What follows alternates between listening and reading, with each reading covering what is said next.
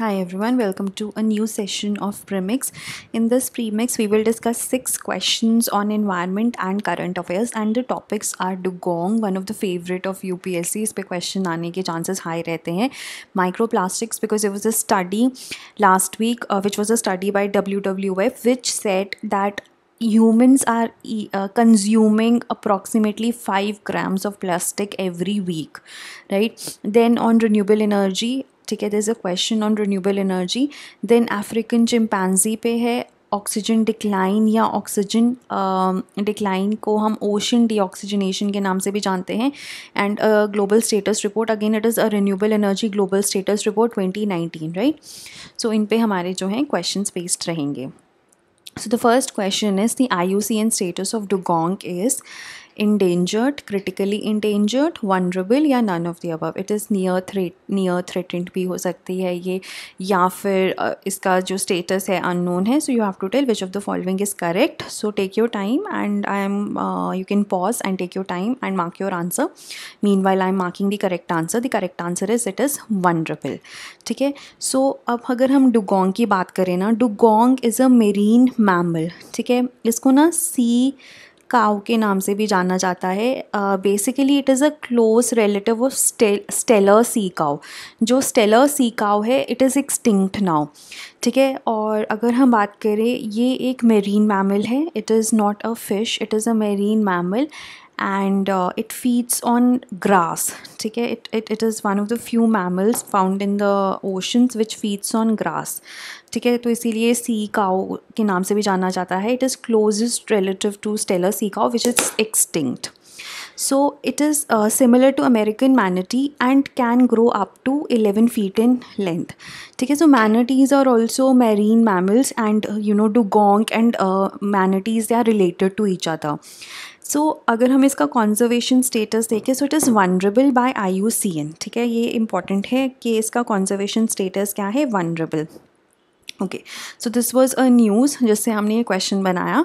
So dugong is a medium sized marine mammal and it is one of the four living species of the order Sirenia which also includes three species of manatees ठीक है?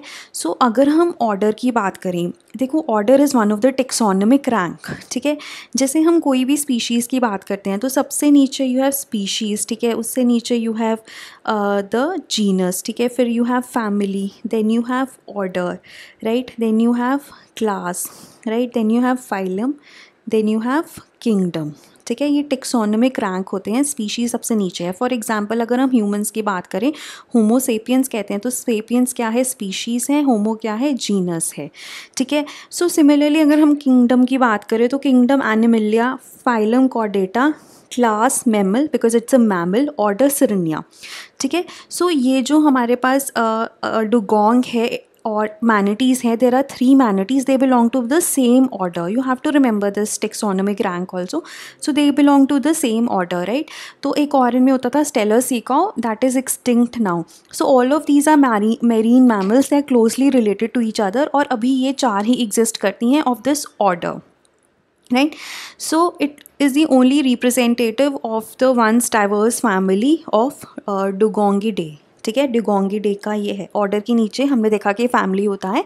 So it is one of the it is the only living representative of this family और इस फैमिली में जो similar family का था, वो स्टेलर सी का था which was hunted to extinction in eighteen century अगर हम डुगोंग की बात करें ना it is the only sirenian which is spanning some waters of some forty countries and territories throughout the Indo west Pacific ठीक है, अभी हम मैप में देखेंगे इसकी डिस्ट्रीब्यूशन सो ये ओनली सिरिनियन है, जो बाकी थ्री मैनिटीज़ हैं ना they are very restricted in their ranges right but और उनके नाम भी उसी के ऊपर है, वो कौन सी रेंज में मिलते हैं? लेकिन dugong is the one which spans the waters of some forty countries right और जो डुगोंग है, ये सी ग्रास पे डिपेंडेंट है। इसीलिए हम इसको ना कॉमनली सी काउ भी कह देते हैं। And it is one of the very few marine mammals जो कि सी ग्रास पे डिपेंडेंट है। When you look at it size it's huge and then you imagine कि वो सिर्फ़ सी ग्रास पे डिपेंडेंट है तो थोड़ा मुश्किल मतलब you can't really imagine but it is restricted it is feeding on the seed sea grass और ये इसीलिए उन हैबिटाट्स uh, में ही मिलता है जहाँ पे सी ग्रास हैं। ठीक है so this is how the dugong it looks right and this is the distribution ठीक है? इंडो पैसिफिक जो डिस्ट्रीब्यूशन है यहाँ पे आपको डुगोंग uh, बहुत ज़्यादा मिलता है। When you you know go to and then जो other part of the world है अमेरिकन मैनिटीज़ आपको वहाँ पे मिलेंगी जो इनके और क्लोज रिलेटिव्स हैं वो आपको रिस्ट्रिक्टेड डिस्ट्रीब्यूशन है।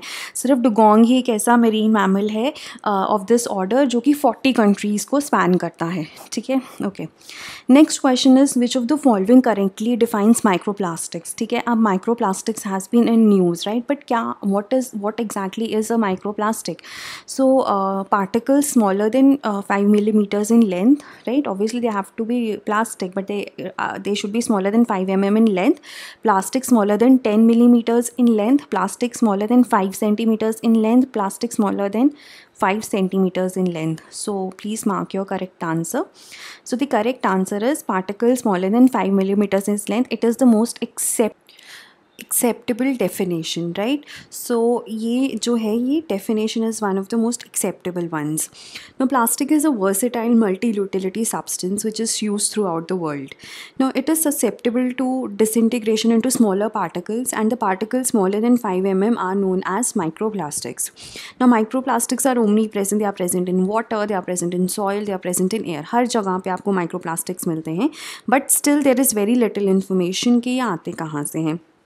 कुछ लोग कहते हैं कि सम स्टडीज़ से point out towards the cosmetics that the ones which contain microbeads it is a major source of granular plastic while another study has found out that a single shirt made up of polyester release approximately nineteen hundred microscopic fibres through during every wash but there is no inter- internationally accepted method for the estimation of the microplastic content so this was an article from hindu business line uh, the question right और उसके बाद जो W W F की study आई है कि every week humans are consuming grams of plastic which is equivalent to one credit card right Next is consider the following solar energy, wind, bio, and small hydro energy. So arrange the above in descending order with respect to their installed capacities in the country. तो आपको बताना है सबसे ज़्यादा इनमें से किसकी installed capacity है क्या वो सोलर है क्या वो विंड है क्या वो बायो है क्या वो स्मॉल हाइड्रो है right and you have to arrange from the maximum to the least that is in the descending order so the order is one two three four that is पहले solar wind bio small hydro या फिर विंट पहले, ठीक है, या फिर last के दो में है, और so these are the four options so mark your answers एक बार इसको पढ़ लीजिए, समझ लीजिए mark your answers and the correct answer is two one three four it is wind then solar then bio then small hydro ठीक है? सो अगर हम देखें अभी दिसंबर में हमारी जो रिन्यूएबल एनर्जी कैपेसिटी थी इंस्टॉल्ड थी that was seventy four point seven nine gigawatts approximately seventy five gigawatts जिसमें से सबसे ज़्यादा विंड है that is thirty five gigawatts twenty five is solar then is biopower then is hydropower ठीक है? But we have an target of installing one seventy five gigawatts by twenty twenty two जिसमें hundred solar है sixty wind है ten bio है and five gigawatts is small hydro hydropower so don't confuse between this the targets and the actual installed capacity ठीक है? That was why this question was framed और ये जो मैंने links दिए हुए हैं ना once you uh, you know uh, see the pdfs you will be easily able to uh, go through the links and find them right then the next question is regarding the african subspecies of chimpanzee आपको बताना है उनका IUCN status क्या है critically endangered endangered vulnerable या near threatened right so this was also in news african chimpanzee hence i have framed a question on the same so the correct answer is critically endangered also important is कि 2016 में आई ने जो status है African subspecies of chimpanzee का from endangered to critically endangered किया है। It was previously listed as endangered it was increase और you know increase to critically endangered क्योंकि जो पॉपुलेशन है, वो डिक्लाइन ही होती जा रही है। It has declined to about eighty percent in the last 24 years and even the future is not looking good so the IUCN has predicted decline of 6% per annum अगर अभी जो इनको threats हैं अगर अभी we don't avert such threats and जो भी इनके threats हैं अभी if they exist या अगर status quo रहता है so ये देखा गया है कि जो ये threats हैं ना they are very complex most of the species live outside protected areas in West Africa तो जो चिम्पैंसीज की स्पीशीज़ है ना ये प्रोटेक्टेड एरियाज़ में नहीं रहती they live outside so when they live outside है ना वहाँ पर uh, ह्यूमन एनिमल कॉन्फ्लिक्ट होगा, वहाँ पे डेवलपमेंट होगी right so development will obviously be outside the protected area तो वहाँ पे जब डेवलपमेंट होगी so they will lose their habitat ठीक है? Because of rapid land conversion so chimpanzees they need wild resources for food and nesting they mostly eat fruit make a new nest in tree every night to sleep but then if the land conversion is there if the uh, you know the land is losing trees so obviously their uh, habitat is jeopardized right तो ये भी देखा गया है कि although chimpanzees are intelligent they are habitable their ability to survive in the environments is impacted by humans and you know it is impacted in a major way they are not able to cope up with that and that is why their numbers are constantly dwindling right Okay, then the next question is regarding oxygen decline or ocean deoxygenation. There are three statements you have to tell which of them uh, which of them are correct, right? Uh, first is hypoxic areas are defined as regions where oxygen is below 60 mmols per kg. Climate change reduces the ability of ocean to hold oxygen, leading to oxygen decline warmer ocean temperatures increase oxygen demand from organisms, further leading to oxygen decline, right? तो ये है, आपको बतानी है कौन सी option सही है? One and three only one and two only two and three only या all of the above so इसको एक बार पढ़ लीजिए and then mark your answer so the correct answer is तीनों की तीनों स्टेटमेंट्स ही सही हैं।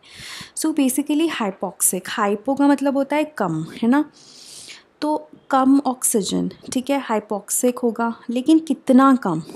है ना? There has to be a number so that number is where oxygen is below sixty mumoles per K G that is what is hypoxic so ये statement is correct then climate change अब climate change reduces the ability of oxygen to hold reduces the ability of ocean to hold oxygen ये भी correct है कि जैसे जैसे temperature warm होता है, जो ओशंस की या वाटर की अबिलिटी है टू होल्ड ऑक्सीजन वो कम होती है। तो warmer waters they hold less oxygen ठीक है? और यहाँ पे though we haven't really specified global warming but climate change and global warming are they similar ठीक है? आप उनको इंटरचेंजेबली यूज़ कर सकते हो। तो climate change here means global warming और ग्लोबल वार्मिंग मतलब कि टेम्परेचर इंक्रीज़ हो रहा है पानी का और गर्म पानी में जो ऑक्सीजन है वो कम रहती है। As the temperature of the water increases the ability of the water to hold oxygen decreases उसके बाद जब ओशंस का टेम्परेचर बढ़ता है so organisms they also you know उनकी जो ऑक्सीजन डिमांड है दैट ऑल्सो इंक्रीजेस ठीक है? And that leads to further decline in the oxygen ठीक है? So these three are correct so ocean deoxygenation it refers to the loss of oxygen ocean में अगर deoxygenation हो रही है मतलब ऑक्सीजन कम हो रही है due to climate change no I P C C की जो फिफ्थ असेसमेंट रिपोर्ट थी that has predicted that because of the climate change जो है ओशंस uh, में three to six percent of the oxygen will decline right so ये कहते हैं कि three to six percent doesn't seem like much but three to six percent in hypoxic and suboxic areas में ज़्यादा हो जाएगा। मतलब हाइपोक्सिक और सबॉक्सिक एरियाज़ वो हैं जहाँ पे ऑलरेडी ऑक्सीजन कम है। तो वहाँ पर अगर three to six percent decline हो जाएगा तो it would be dangerous right hypoxic areas हैं जहाँ पे oxygen is below sixty mu mumoles per K G और uh, एक ना सबॉक्सिक एरियाज़ होते हैं। सबॉक्सिक हाइपोक्सिक से भी नीचे है। जैसे यहाँ पे सिक्सटी है यहाँ पे फाइव है। और hypoxic zones have oxygen concentration seventy to ninety percent lower than the surface क्योंकि जो सर्फेस है वहाँ पे एयर से कॉन्टैक्ट है तो सर्फेस पे जो ऑक्सीजन कॉन्सेंट्रेशन है वो ज़्यादा होती है। तो हाइपोक्सिक एरियाज़ में seventy to ninety percent lower than जो भी मीन सरफेस कॉन्सेंट्रेशन है, उससे seventy to ninety percent lower होंगे।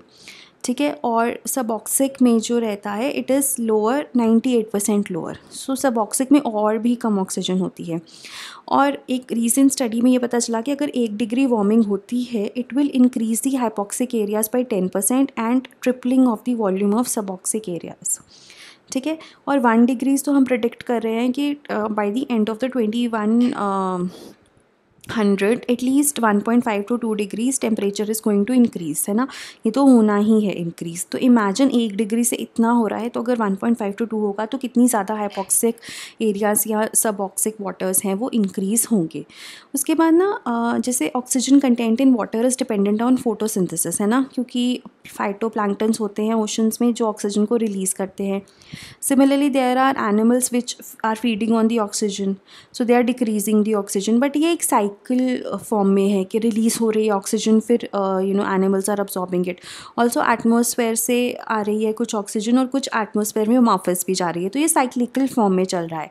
So it is dependent on photosynthesis produces oxygen animal respiration you know takes away oxygen and physical mixing ocean warming is producing global ocean oxygen by different mechanisms वो ये हैं। Stratification impact से को anthropogenic warming से पानी गर्म होता है। गर्म होता है लेस टेंस होता है। लेस टेन लेंस अगर होगा पानी तो स्ट्रैटिफिकेशन हो जाएगी मतलब लेयर्स बन जाएँगी। और लेयर्स बन जाएँगी तो मिक्सिंग नहीं हो पाएगी तो जो ऑक्सीजन डिक्लाइन है, वो थोड़ा और होगा। लेट्स से अगर नीचे वाली नीचे वाली लेयर्स में ऑक्सीजन है या ऊपर वाली लेयर्स में ऑक्सीजन है तो जो जहाँ जिस लेयर में कम है और जहाँ, इस लेयर में ज़्यादा है, वो वहीं रहेगा। बिकॉज़ एक तरह से स्ट्रैटिफिकेशन हो जाएगी।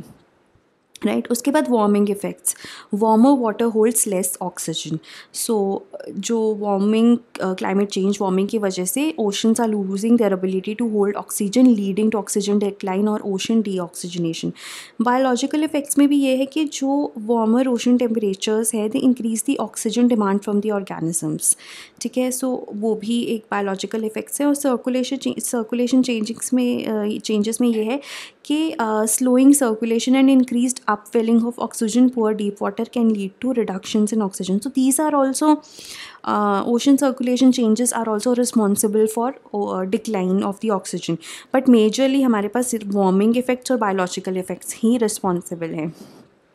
ठीक है? So this was the article from which it was taken and they are saying कि मेरीन इंटर इन्वर्टिब्रेट्स हैं जो they are more vulnerable. Especially they are found in large numbers in the uh, you know the polar regions and they are more vulnerable to the ocean deoxygenation. Then the last question is renewable 2019 uh, global status uh, report has been released by irena international renewable energy agency ren 21 so this is renewable now it's a think tank based on renewable energy. Uh, European Solar Thermal Electricity Association Estella, Renewable Energy Association REA. तो कौन निकालता है global status report? So the correct answer is REN 21.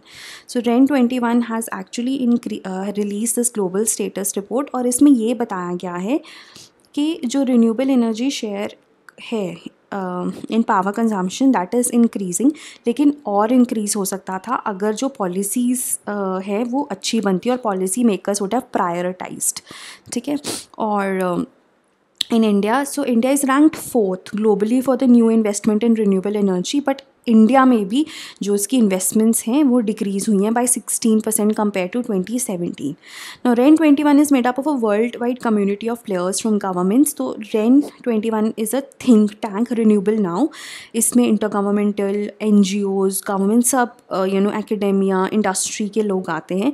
So it is a think tank of global network of people providing high quality up to date information to shape the energy debate and we have also covered this in our precure तो अगर आपको ये report अच्छे से देखनी है you can also you know see that right so this was regarding the six question so मिलते हैं next week thank you so much और प्लीज़ प्लीज़ प्लीज़ अपना स्कोर ज़रूर लिखिएगा. It helps you know in the peer review you can compare your marks with the others also who are commenting right so please do share your marks in the comment section thank you